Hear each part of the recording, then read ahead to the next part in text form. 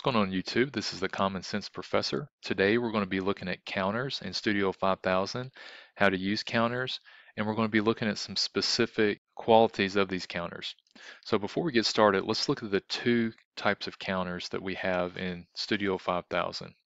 We've got the count up, which is the CTU, and the count down, which is the CTD. Now you can use either one of these by themselves with a reset. And I generally always encourage you if you use a counter in a program, no matter how you use them to use a reset, just in case your counts get off, you can always reset that value.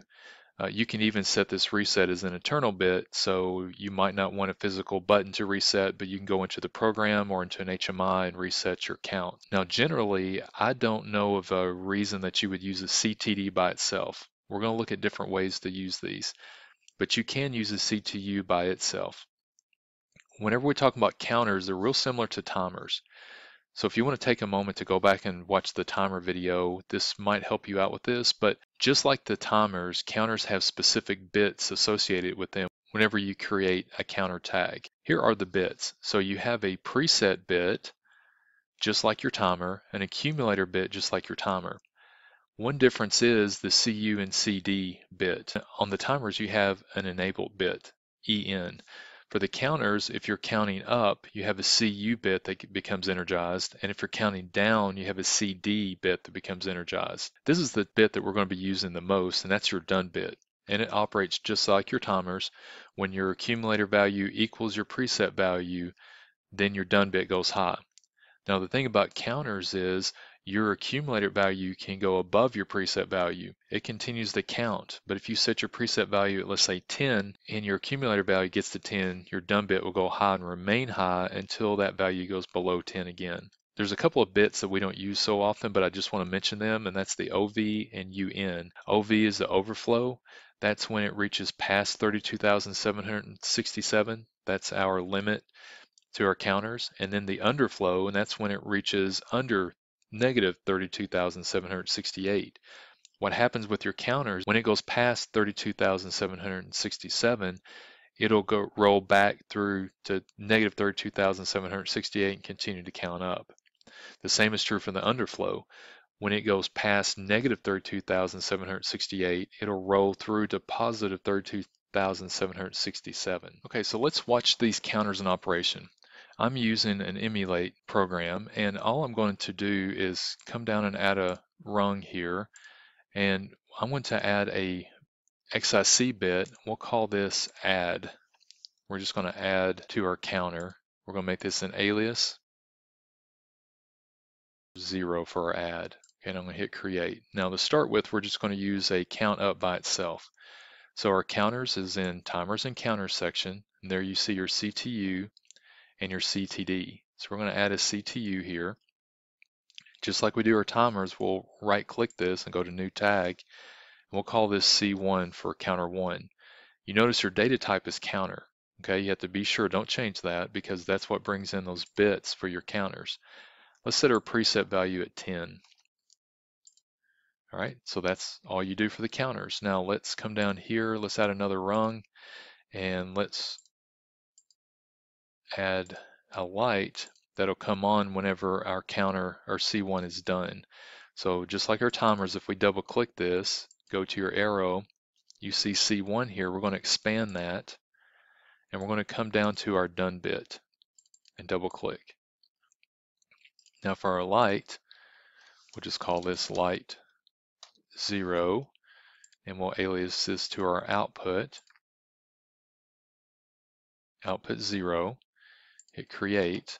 Now remember, if we don't have a reset to this, if we count up to 10, we get a done bit, it'll never go low again. So we're going to add a reset, XIC, and then we come into the back part just like we did for the RTO timers, and we're going to add a reset, and it works the exact same way. So we're going to pull this tag C1 down to our reset. So now we're resetting our counter. And we'll call this a reset tag. And let's make this an alias for our input 2. All right, so let's download this to our emulator.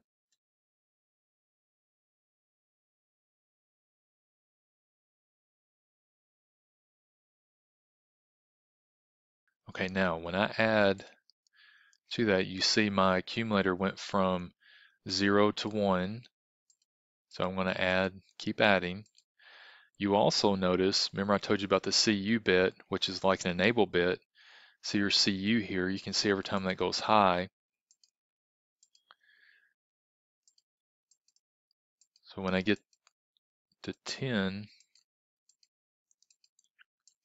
my done bit should go high, my light comes on, and that's done. Now remember what I told you, you can continue to count past this. So it continues to count past that. All right, so let's reset this value and we're gonna look at, I'm gonna change this to CTD so you can see the difference. All right, so I'm gonna reset this. So go to my input two, that accumulator value goes back to zero. I'll go low again. All right, so let me change this to a CTD.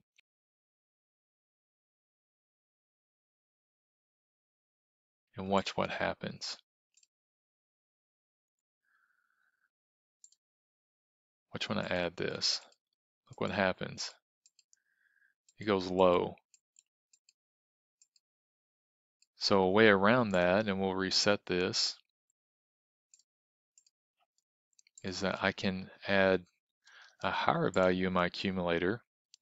I get my done bit because this is higher than my accumulator value.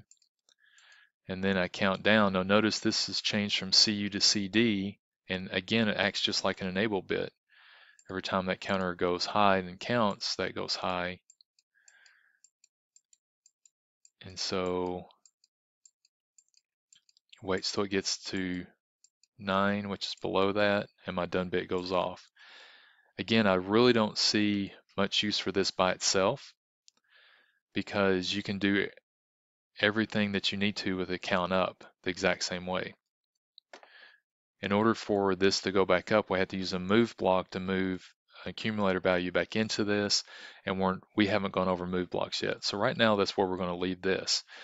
Now let me show you one advantage of having a CTD though. I'm going to add a rung in here in between this, and I'm going to bring my CTD down to this rung. Now I'm going to have another input, an XIC, and I'm going to create a new tag, and I'm going to call this subtract. And I'm going to alias this.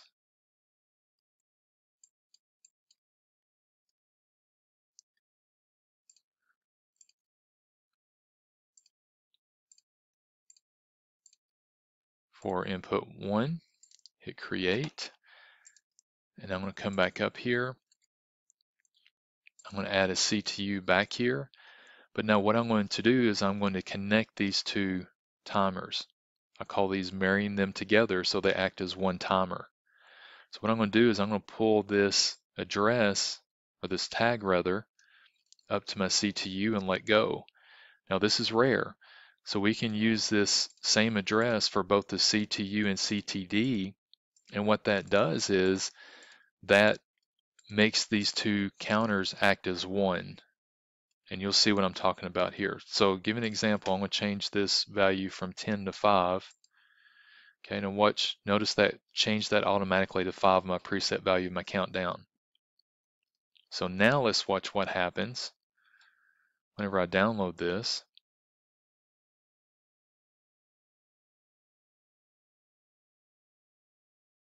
Okay, now I'm going to add. I'm going to go up to 5, and I'll get my done bit. My light will come on. There's my light, okay? But now let's say that we're adding good parts, and our goal is to get five parts. So we got our goal, but one of those parts was bad. So we come in here to our subtract, and it subtracts it. So that's the real advantage of a CTD is that you can couple it with a CTU and it will add and subtract accordingly. Now, if you want it to, let's say, make this light blink whenever it gets to a certain point, what you can do is is you can add our heartbeat circuit in that we talked about in cascading timers. If you haven't watched that video, be sure and go back and watch that so you know what I'm doing here.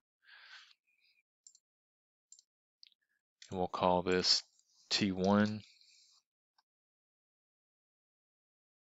Call this T2. And then we'll make this blink for half a second intervals. Now remember, these are going to cross each other, so we have T2 done here.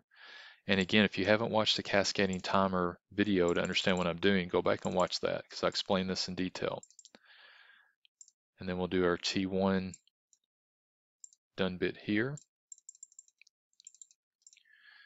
All right, now on this light, what we want to do is we want to come in and add another bit and I'm just going, we can choose T1 or T2, doesn't matter because these are going to be blinking opposite each other, but I'm just going to use T1. And we can use our timer timing bit off that. That's going to be on for half a second intervals. Now watch what happens. So this is blinking all the time, but we're not calling on it until we get our five parts. So let's add two more parts. And now my output light is blinking instead of just going solid at that point. All right, so that is the way that counters work. Remember, there's two counters, CTU and CTD, and I always encourage you to put a reset in with your counters.